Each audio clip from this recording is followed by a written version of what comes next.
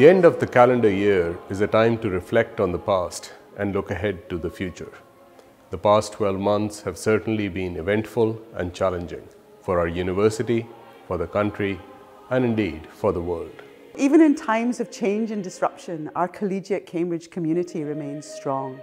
We are united by our belief in the power of teaching and research to change the world for the better. Every day, Cambridge students and scholars pursue academic excellence, creating and passing on knowledge that will help us better understand the world around us. Today, more than ever, the world needs Cambridge.